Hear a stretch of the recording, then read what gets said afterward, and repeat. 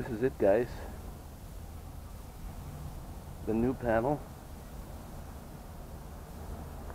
beside the old. What a difference in size.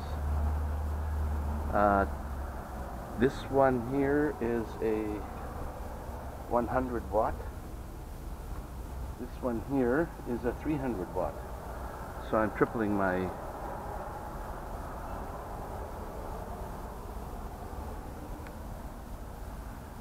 tripling my uh, wattage at least.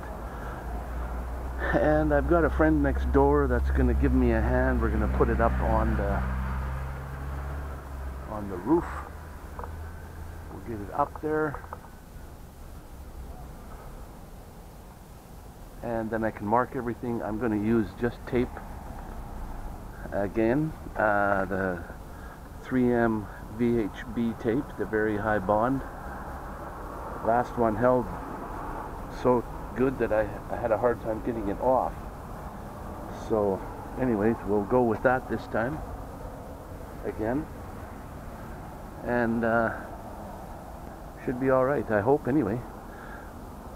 These are the mounts that I'm going to use.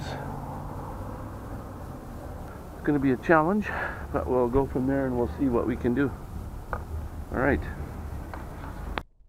So what I thought I'd do is take the drone up to uh, show you what the top looks like and how big this uh, solar panel really is.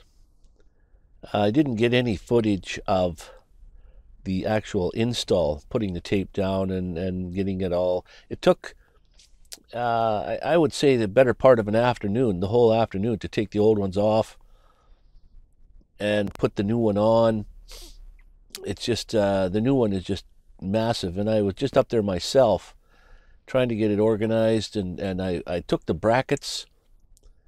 Uh, first of all, I put it uh, the brackets on the solar panel, and put it down, marked where they were going to go, and then took the brackets off the panel, and mounted the brackets on the roof, and then mounted the panel onto the brackets after the fact. Uh, it was the only way I could think of doing it because part of the bracket is actually underneath and I couldn't get at it. So here's a shot of my old panel so you can see what the difference in size is. Uh, a third. So the new panel is uh, not quite in the center and the reason being is uh, on the left hand side in the top left corner there is uh, where the wires go in inside the van there's a hole there and there was an old um, TV antenna bracket there that uh, the the mount would would hit up against, so it had to be over to the side like that. Can't be right in the center. So, and it uh, from front to back, it's as far back as it can go, just about, uh, with that black uh, spot on the bottom left corner. Uh, that's a vent for the bathroom. the the mount would hit that, so I have to stay right where it is, is the, and that's the biggest panel I can fit on there. So that's a 300 watt panel. They make a 330 that I've seen and, and bigger, but the 330 was actually even longer, so it wouldn't have fit. Uh, this is 65 inches by 39 inches, so it's it's quite large. And my other one, I don't know what the measurements are. I never measured it out, but uh, you could see the size there uh, of what how small the other one is. It's only 100 watt. So now I have power to spare more or less. I've, I've finally got enough power that I can run whatever I need. Uh, by the time I get up in the morning, the, the uh, batteries are already fully charged on a nice sunny day, uh, which it is here on a nice sunny day, and it, it's uh, powering up.